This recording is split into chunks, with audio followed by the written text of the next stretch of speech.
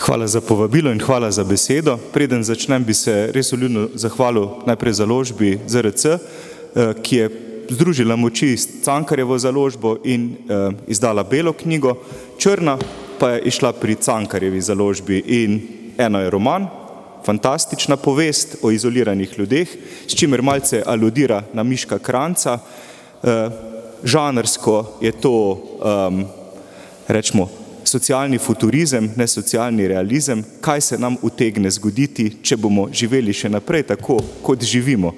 In uh, če, še naprej, če bodo še naprej tehnologije izkoriščale nas, ne pa mi izrabljali tehnologije. Zahvalil bi se uh, tudi urednici bele knjige, uh, znanstvenega branja o izoliranih ljudeh, Eh, doktorici Ingrid Slavec Gradišnik, ki je knjigo ne samo uredila, ampak tudi polepšala in izboljšala. Tako da um, sem zaradi tega izjemno vesel, tudi zato, ker se bereta obe in sem res presenečen, tudi po podatki obranosti oziroma izposojenosti kažejo, da obstaja zanimanje za nek mogoče nov žaner celo, ki prepleta znanost in fantastiko. In to, kar je nastalo, je včasih rečem za šalo znanstveno fantastično delo. Kaj je krizolacija? Krizolacija je tisto, kar se vam je zgodilo danes zjutraj, ko ste zelo verjetno najprej pogledali na telefon, 69 odstotkov ljudi pogleda na telefon v prvih petih minutah po prebujanju.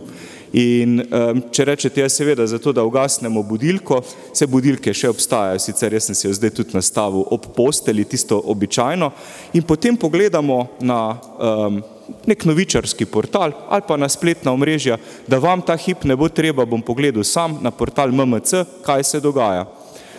Prva novica. Avtomobil s to imeno v duhu Avstriji vozil z modro lučjo in prehitro. Globi so se hoteli izogniti. Bližnji vzhod. Izrael nadaljuje napade na Libanon, odkudar je Hezbolah izstrelil raketo na sedež Mosada. Slovenija eh, in v varnostnem svetu, Golop in Zelenski sta govorila o prihodnosti Ukrajine v Evropski uniji. Um, Zelenski v varnostnem svetu, Rusijo je treba prisiliti k miru, golob, varnostni svet je Ukrajino pustil na cedilu in tako naprej in tako naprej. Kriza je postala normalno stanje sveta.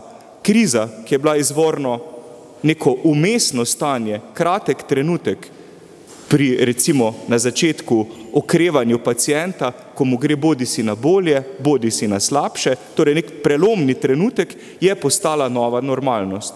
In jaz mislim, da je bilo leto nič, leto krizolacije, prav leto 2020, ko smo padli najprej v pandemijo COVID-a, po pandemiji COVID-a, kot se verjetno spomnite, leta 2022 neposredno v vojno v Gazi, oziroma najprej v Ukrajini, potem v Gazi, vmes nam je padlo v Sloveniji nebo na glavo, avgusta leta 2023 in vse krize so se povezale med sabo, podnebna, gospodarska, ideološka, medijska, politična in vse druge krize in so postale neka ogromna kriza, ki nas pritiska od jutra do večera, do večera, ko spet odložimo telefon nekje ob vzglavju.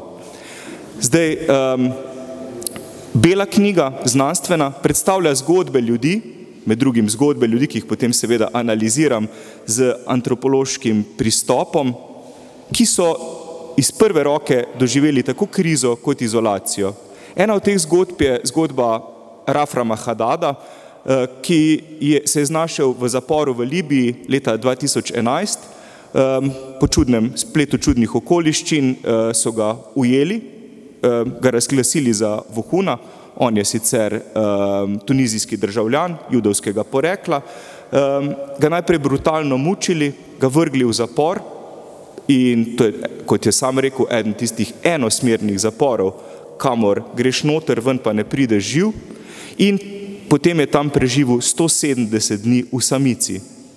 In kar je meni pri njegovi zgodbi posebej zanimivo, je to, kako je on si napolnil teh 170 dni.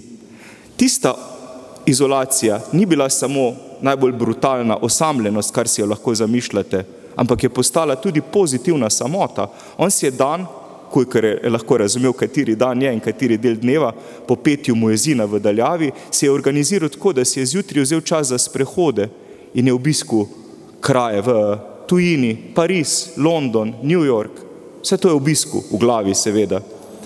Popovdne si je vzel čas za ljubezen, za romantiko, za seksualne fantazije, ki so trajale in trajale. In potem um, zaključil dan, ki se mu je zdel tako poln, da potem, ko so mu prinesli stekleničko z vodo, ni hotel brati, kaj na njej piše, ker je bil tako zadovoljen v svoji glavi.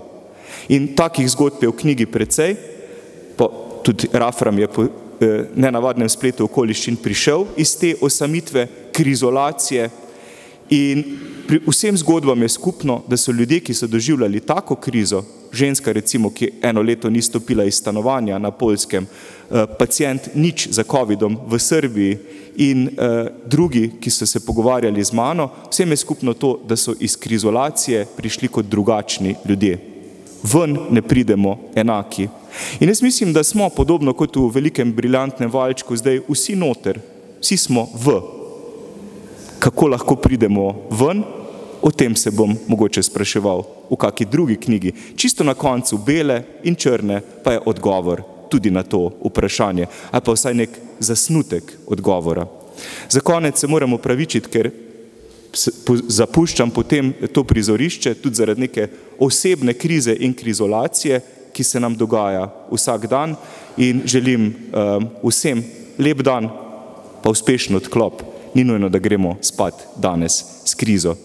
Hvala.